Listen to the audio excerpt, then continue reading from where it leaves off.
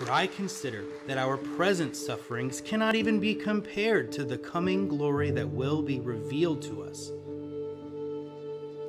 For the creation eagerly waits for the revelation of the sons of God. For the creation was subjected to futility, not willingly, but because of God who subjected it, in hope that the creation itself will also be set free from the bondage of decay into the glorious freedom of God's children. For we know that the whole creation groans and suffers together until now. Not only this, but we ourselves also, who have the first fruits of the Spirit, groan inwardly as we eagerly await our adoption, the redemption of our bodies. For in hope we were saved. Now, hope that is seen is not hope, because who hopes for what he sees? But if we hope for what we do not see, eagerly wait for it with endurance.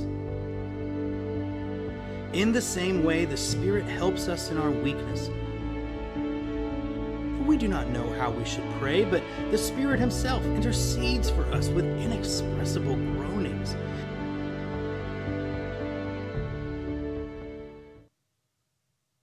Good morning. This is fun to be here. Thank you so much um, for having me. And uh, a few months ago, Charlie called me out of the blue, and he just said, "Hey, uh, we're we're having you know another baby, and I wondered if you could come and speak." And I said that would be great. I would love it. Uh, so I see the the pattern has emerged. When the first time I came back here to speak, and by the way, uh, hello to all of you I've never met, and uh, hello to all of you that I, have known for a while. Uh, the pattern that emerged was that every time Charlie and Sarah had a baby, I got to come back and speak. So um, I hope they have a lot of babies, but if that's their last one, I'll never see you again. But so um, this is great. And, um, you know, I think everyone expects all pastors to remember all children's names, and we do. Um, but, you know, I thought that's, that's kind of hard. I don't think Charlie could even remember his kids' names. Do you know this story? That, that when Charlie and Sarah had Eleanor, right? Because I get confused because it, they, they had only had Eleanor for like two weeks. And she was home and they were, eh, you know, you know, rolling around the neighborhood in the buggy and showing her off. And these people that they knew in the neighborhood came up to them and said, How, you, you have this new baby? It's, it's wonderful. And what's her name? And Charlie said, It's Evelyn. And Sarah just looked at him and said, What is wrong with you? That's not our, we just had one baby and you can't even remember. He said Evelyn, he didn't say Eleanor. So I'm just saying, if I make mistakes, you know, he made them first. So anyway, I'm excited to be back here. Where I, I like the fact that I'm part of this series, so I didn't have to spend half my time figuring out what to say. So uh, we're in Romans 8. You've just heard it. And I've got this one section it's beautiful. I mean, people say that Romans 8 is like the jewel in the, you know, the crown of, of the scripture. So today we're going to be talking about verses 18 through 25, a little bit of 26. I think next week Nick is going to expand on that. And so uh, you have the whole of the Christian life in Romans 8. In verses 1 and 30 and 33, you've got justification. In verses uh, 2 through 17, you have sanctification. That's the growth that we um, experience as Christians. And in verses 18 through 39, we have glorification. So, justification, sanctification, glorification. You can probably figure that we're going to be talking about glorification today. But uh, just to review, the Holy Spirit um, is mentioned 19 times in the first 27 verses of this chapter. The Holy Spirit is described as the Spirit of life, verse 2. We walk according to the Spirit, verse 4. Our mind is set on the things of the Spirit, verse 5. The Spirit of God is the Spirit of Christ, and both the Father and the Son sent the Spirit, verse 9. It's by the Spirit that we put together or put to death the deeds of the flesh, verse 13. We're led by the Spirit, verse 14. It's the Holy Spirit who testifies to our spirit that we are children of God, verses 15 and 16. We have the first fruits of the Spirit, verse 23. It's the Holy Spirit who prays for our weaknesses, verses 26 and 27. Now, ironically, in the passage I have, uh, 18 through 25, it, the Spirit only comes up once. But in general, the Spirit is, um, is throughout the whole chapter. And glorification Um, even though it's only mentioned three times, it's the overarching theme. So if you go back one verse to verse 17, it says this Now, if we are children, then we are heirs, heirs of God and co heirs with Christ, if indeed we share in his sufferings, in order that we may also share in his glory. So today we're going to talk about suffering on the one hand and glory. This, this world, this life, is full of suffering, and, uh, and then we're looking forward to glory. Um, Paul says in verse 18, he's comparing.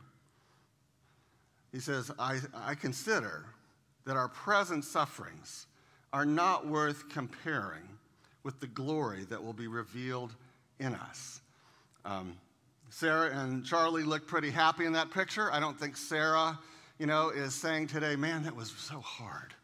I just, you know, like if you go see Sarah at the hospital, you see her at, at their house, or whenever you see her, she's probably not going to go on and on and on about, I don't know if it was worth it. You know, I mean, those nine months and then that hospital and the pain. And even though I had some drugs, I don't know if she did or not, uh, you know, she's not going to go on and on and on and wonder I don't know. Are these kids really worth the pain that I went through? She'll probably say, Yeah, wasn't that great? But look what we have. We have this, this beautiful family. And, um, and that's what Paul says. He says, You know, I, I, I don't even consider that the pain and the suffering that we go through in this life is worth comparing to the glory that will be revealed in us. Now, you think that's kind of a weird thing to say, glory that will be revealed in us. You kind of think of glory as being out there. And yet he's saying it's going to be revealed in us. It's a strange word, it's an odd Greek um, construction that's not normal. It's actually saying revealed into us.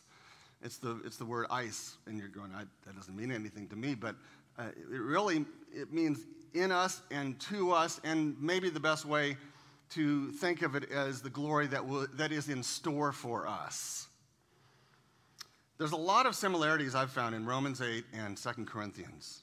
And in 2 Corinthians 4, Paul, the same person, said, Outwardly, we're wasting away. You're probably looking at me and go, Steve, you look a little bit older last time we saw you.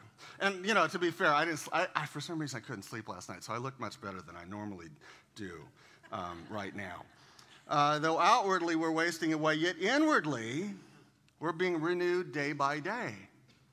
Something's happened to us when we come to Christ, and He begins to work in us. And though outward, our outward shell has only got so many heartbeats, you know, I, I, I had a couple back surgeries, and the back doctor, I don't know if this was good, he says, You know, I don't think our backs were only made to last more than 70 or 80 years. I'm going, Thanks, doc. But um, our light and momentary troubles are achieving for us an eternal glory that far outweighs them all.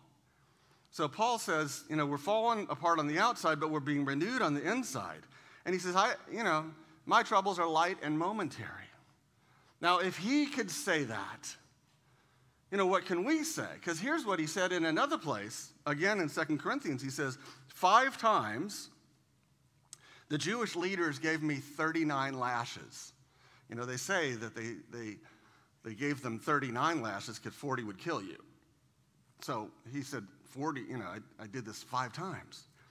Three times I was beaten with rods. Once I was stoned with rocks. When you're in Colorado, you got to make that point. Um, three times I was shipwrecked. Once I spent a whole night and a day in the, adrift in the sea. I faced danger from rivers, robbers, Gentiles, Jews. I've been hungry and thirsty, often been without food. I've shivered in the cold without enough clothing to keep me warm. Most of us couldn't say that. And, um, and yet he says those are light and momentary compared with the glory that's coming. Um, if, if, you like to read C.S. Lewis, I encourage you to read a, a, an article, which actually was a sermon called The Weight of Glory. Because uh, the, the, the New Testament word glory is doxa, and that's where we get doxology from. The doxology that we sing, you know, praise God from whom all blessings flow, that's doxa, that's glory. But in the Old Testament, glory was kavod, looks like kabod, but it means physical weight. And so C.S. Lewis wrote a wonderful sermon that he called The Weight of Glory. And it's a play on words because glory means substance and weight and heaviness. He also wrote a book called The Great Divorce. The other day, my son, he's not a big reader, but he, he read The Great Divorce. I said, That's amazing. Let's talk about it. Because in The Great Divorce, Lewis does a fantasy thing. He says, it wasn't intended to be exactly theologically correct in all ways, but he's making a point. It's about people that are in hell getting on a bus and going to visit heaven. it's fascinating. And when they get to heaven, the people from hell just they don't have much they're like ghosts. They don't weigh anything, so they can't even push down a blade of grass. It hurts them to walk on the grass, whereas the people in heaven are solid people. An apple weighs as much as a bowling ball. And, and water, even if it's cascading down a stream, is solid. So there's the solid people. And what Lewis is doing is saying when you come into a relationship with God, He gives you substance, He gives you glory. You weigh something. The great divorce. And um, so that's what Paul's saying. He's saying, I don't, the stuff we're going through now, it, he's not dismissing it. It hurts, it's painful. But the glory that's coming is, uh, is going to be so big, so heavy, so weighty, so substantial. We won't be thinking, gosh, you know, I don't know if it's, if it's equal in the scales. Now, what he does next is something that you don't find much in the scriptures, but he goes off on a tangent and tells us some things about the universe. You know, we're always wanting exhaustive knowledge. Um, he doesn't give us exhaustive, but he, he like pulls the curtain back a little bit. And he says, now, the creation He's talking about subhuman creation the rocks and the trees and the animal kingdom and all those things. He's saying, and you know, which we are, you know, in our world, we're very concerned about.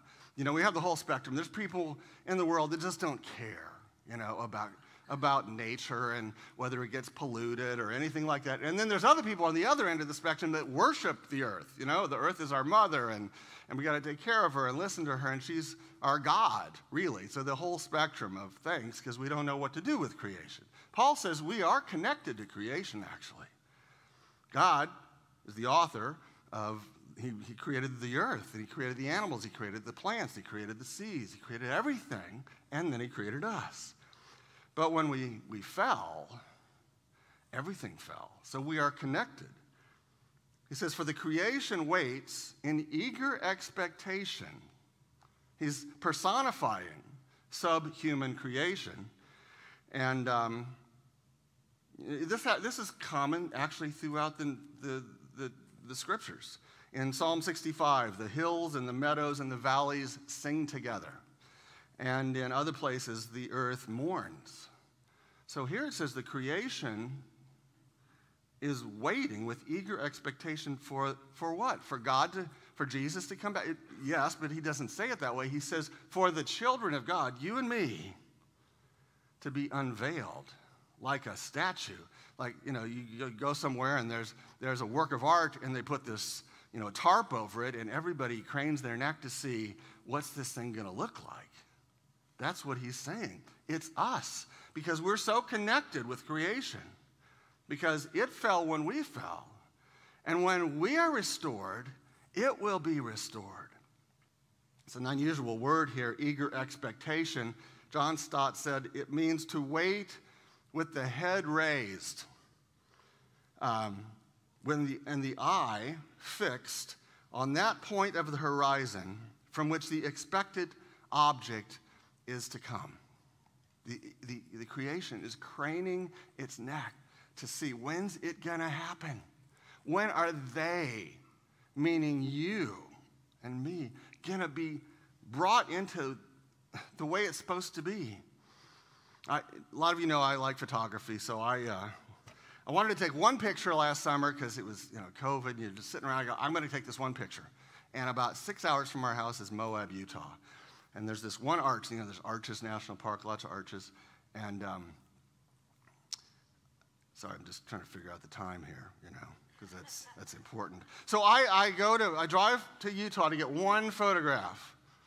And it's a photograph of the sun coming up over the horizon and this one arch. And I, I was there and um, I talked to somebody in, the, in one of the um, photography stores in Moab, and I said, gee, I wonder what time I would need to get there to escape the crowds, because everybody likes to do this particular arch. And she said, I wouldn't even bother. I wouldn't even bother going. And in my mind, I went, okay, then I'm going. I don't care what you say. I'm glad you said it that way because that makes me want to do it all the more. So I got up. I set my alarm for 2:30 in the morning. So I got up at 2:30, drove my little car over. It took about an hour to get to this one spot. And I got there first. I was so excited. I thought I'm so professional, you know. And I, I had to walk a ways to get to this spot, and the, the arch is there. And I set up my tripod, nobody else is there yet. I'm waiting two hours. And finally, people trickle in from all over the world. That's kind of the fun part of it. And we're all going to be waiting for this. And I look over, and here's a, a young woman sitting on a rock, you know, and a, you know, she's, she's like meditating.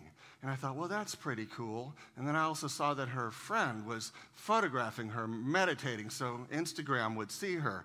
So I'm not sure how much she was meditating, but she looked cool. And then, and then I'm there, and other people are showing up, and it's great. And I'm just, I'm so excited. And then I realized at the very last second, I'm not even pointing the right direction for the sun because suddenly everybody knows it's going to come up at this one moment and everybody suddenly is getting quiet and they're looking at this one place and i just turned i was able to get it. But uh, that whole group of people was there for one reason. We're just looking. We just can't wait till it comes and we're hope and it was beautiful. And everyone was stunned. Everyone was kind of in awe of it.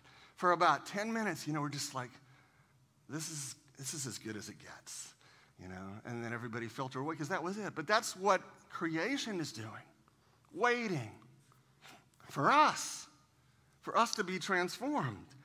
For the creation, verse 20 says, was subjected to frustration, not by its own choice. Creation didn't do anything wrong, but by the will of the one who subjected it.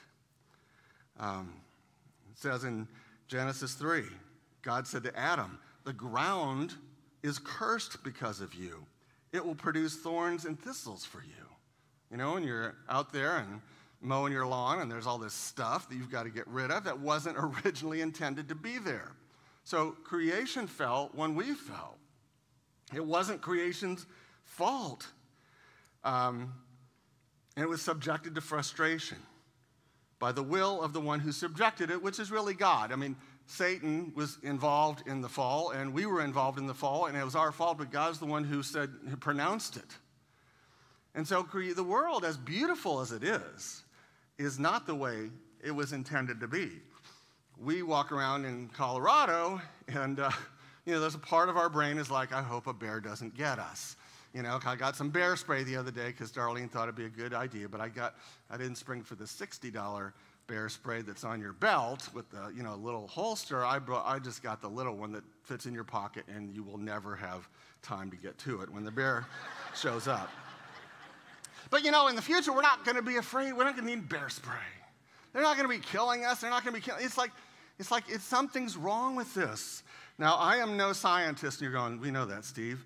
Uh, but the second law of thermodynamics, doesn't that sound fascinating? States that there is a natural tendency in any isolated system to degenerate into a more disordered state, which results in an increase in entropy. Entropy is the general trend of the universe toward death and disorder. It means things are falling apart. You leave your car out. You know, you, I was driving you know, somewhere last week out into eastern Colorado and I saw these old trucks and they look cool. Why do they look cool? Because they're all oxidized, they're falling apart, they've been left in a field. They're not getting better. You know, the other night I was going to bed, I really needed to get a lot of sleep, and Darlene yells, Steve, get up. The, the, uh, the, the sink is, is exploding. You know, there's water coming. You know, what did we do? Turns out maybe this is the most important thing you need to hear today. Uh, don't put rice in the disposal. I, I thought that would be okay, and yet it expanded and blew out our whole system. Now, um, I didn't know that could happen. But uh, it wasn't even a lot. It was just a little. So, you know, the thing is, I could have said, you know what? Let's just sleep on it. Because probably in the morning it will fix itself. That's what I wanted to say.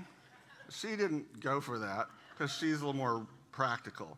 And um, it, it, would never ha- it would never fix itself, right? Stuff in your it doesn't fix itself. You can't like go on vacation. Hey, maybe they will come back and it'll be. Doesn't things don't go towards more order?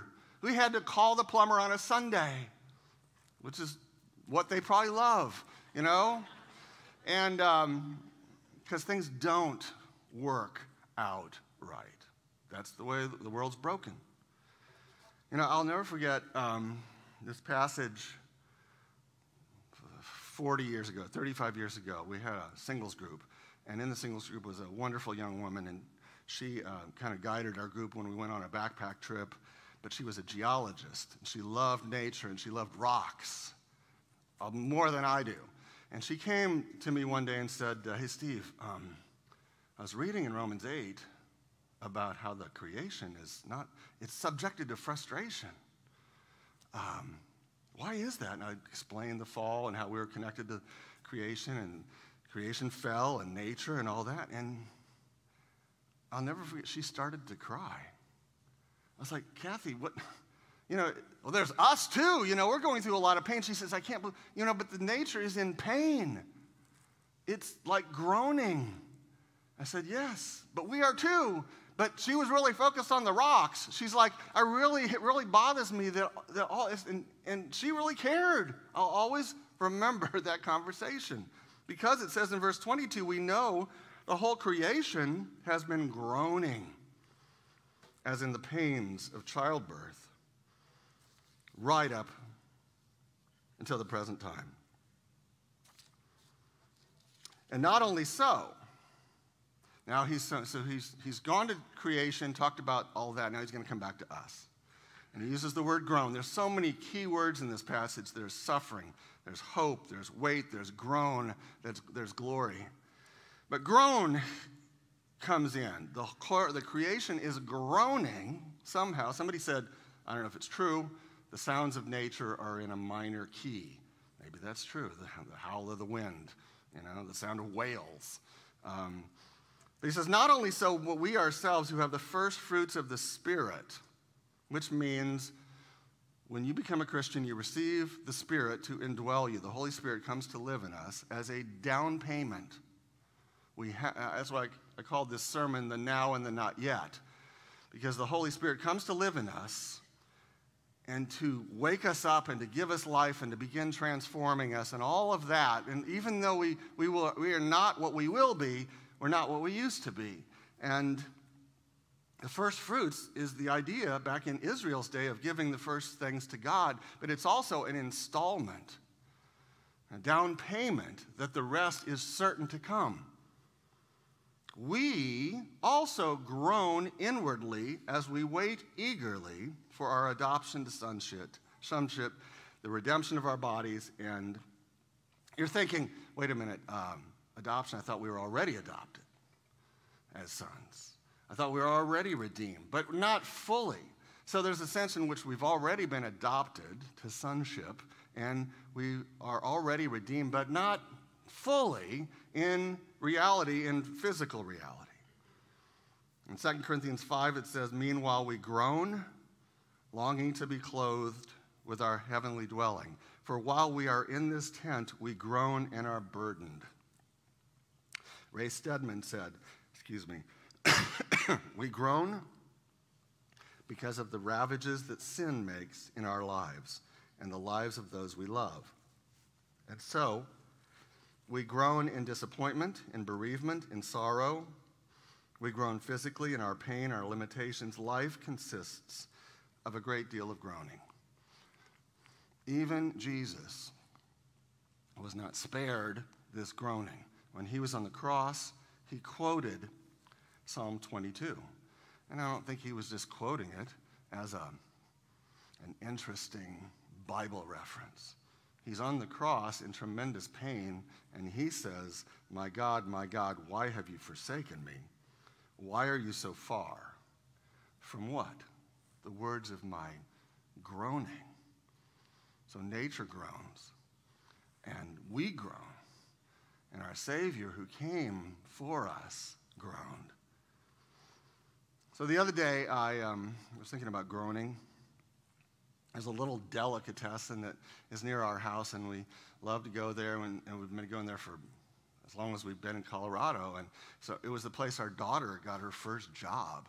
And uh, the woman who runs it is, is Betsy.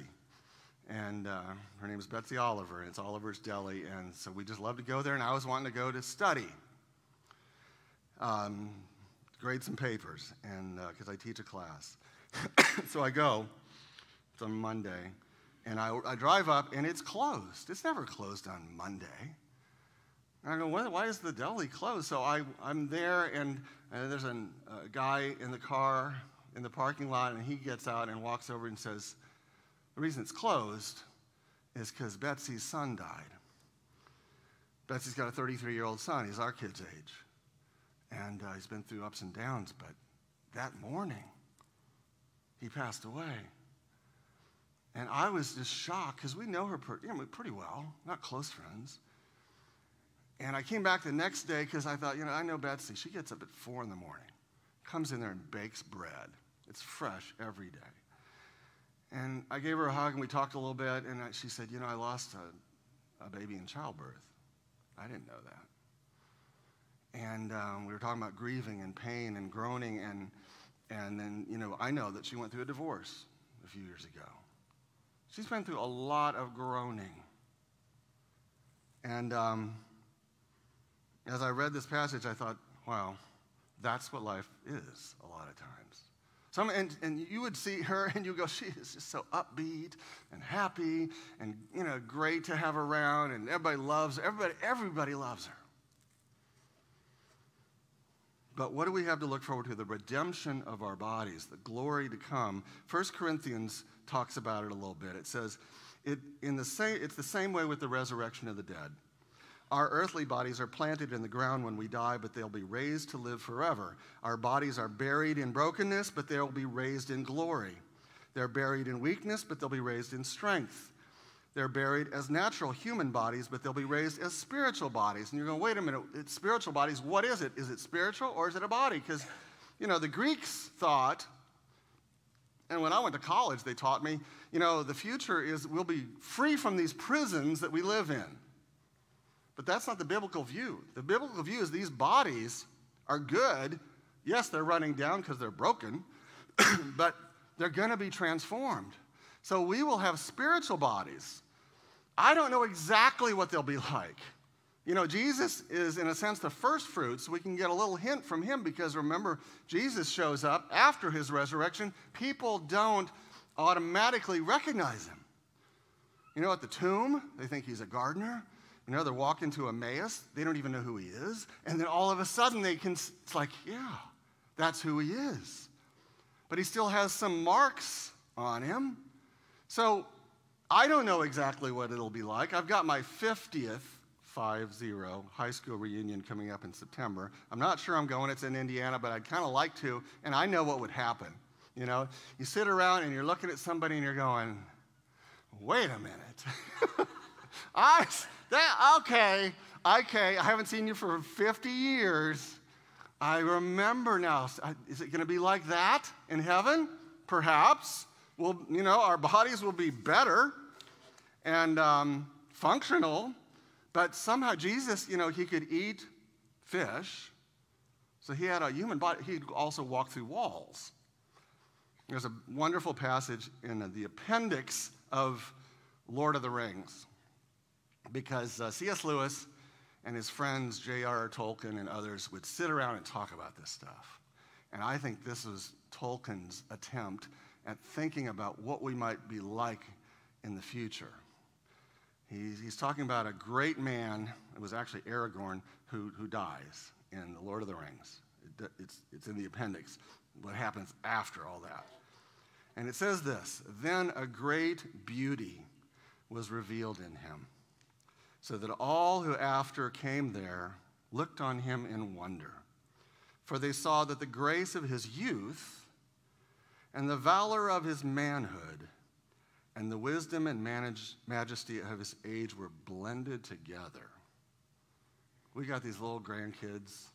You know, I'm looking at these little kids. Today. They're so beautiful. We, we joke with our, you know, five year old Stevie and, and six year old Emmy, like, you're not growing up, you're not getting any older, right? And then they go, yes, we are. And well, at least you're not going to be a teenager. Oh, yes, we are, you know, and the whole thing. Um, because they're so beautiful. You don't want them to, to grow up. And then, you know, people become young men or women, and you go, wow, you it's amazing, you know. Look at you. you you're a full grown man or woman.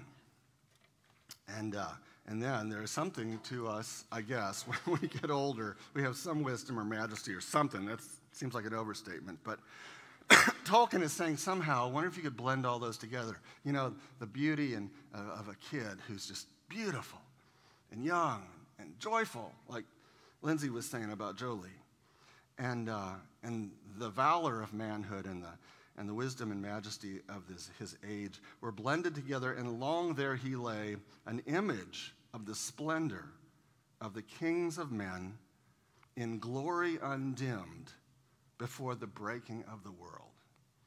I don't know what it's going to be like exactly, but it's going to be glorious. And so finally, Paul says, All that I've just talked about, this suffering that's going to lead to this glory that's going to, going to outshine all the pain, it's called a certain thing that's going to happen, and we call that hope. It's not like our normal hope. It's not like, I wonder if the Cowboys will ever win a Super Bowl in my lifetime again or even get close. I really hope they do. Needless to say, that's not on real solid ground. You know, we don't know that for sure at all. Biblical hope is like, oh no, we know this is going to happen. And we are putting everything on it. For in this hope we were saved, but hope that is seen is no hope at all. Who hopes for what they already have? But if we hope for what we don't yet have, we wait for it patiently. In Hebrews, it says, Therefore, we who have fled to him for refuge. I thought, isn't that an interesting description of Christians? we who have fled to him for refuge have, can have great confidence as we hold to the hope that lies before us. This hope is a strong and trustworthy anchor for our souls. And now let me borrow a little bit from Nick's passage, just one bit from the next verse. He says, Now, in the same way, the Spirit also helps our weakness. For we don't know what to pray for as we should, and we would all say, Amen. But the Spirit Himself intercedes for us with what? Groanings. There it is again. So let me close by saying, what does Betsy have to look forward to? What has she got in life? I would say she has a living, risen Savior who groaned. She has the Spirit living in her who groans with her. She has a heavenly Father who loves her. And she has this hope that is certain to come at any moment. And so she waits patiently as she gets up every morning at four to bake bread. Let's pray.